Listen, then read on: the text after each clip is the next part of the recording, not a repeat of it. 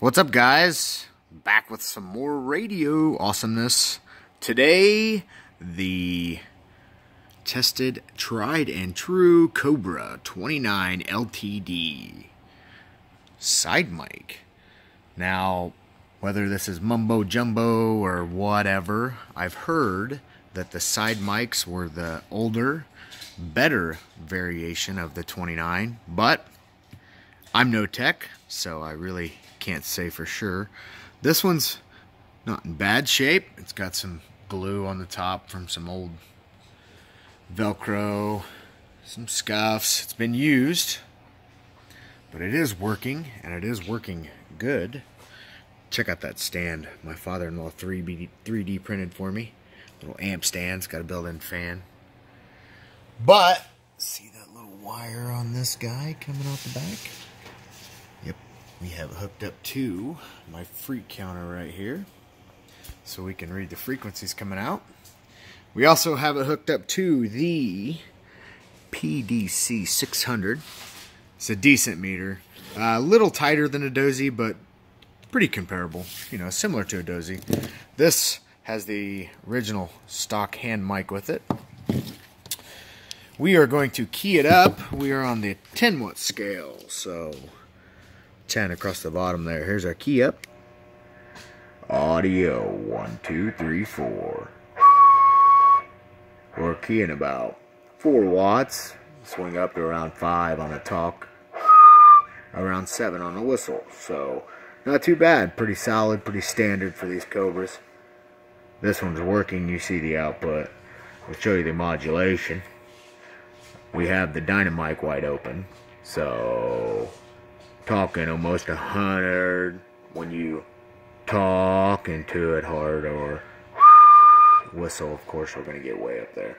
So there you go. You can hear it on the test walkie-talkie we have on the other side of the bench.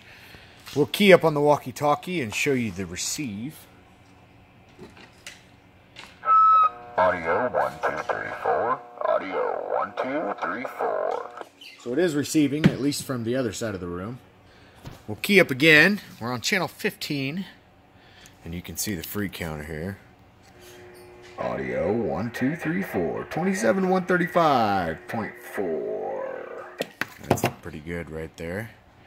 But the reason we have it hooked up to this and to that wire that somebody has wired into the back is because this channel right here, boom. Now check it out. Ooh, 2669. So it's a little off. We'll go all the way down to 1. 2652. Then, let's see. Clarifier is not open on this, so we'll switch it all the way down. And we'll go up to 40 and see how high. So high that the crystal's not even picking it up. Let's go to 38. Okay, 37. Yep, one more, 36. There we go. So, all the way up to 2780. So, yeah, there's quite a expansive range of channels in this thing on the noise blanker analyzer switch, so your uppers and lowers. But there it is, guys. Cobra 29 LTD with uppers and lowers and pre-wired for a freak counter. This one doesn't go with it. This is my my freak counter that I just drag around with me from place to place. And I'm going to hang on to it, but the Cobra has been wired for it with a such plug. That's what plugs right into whatever freak counter you decide to run one on this thing. So there you go, guys. Cobra 29 LTD. Concrete in the cornfield 73.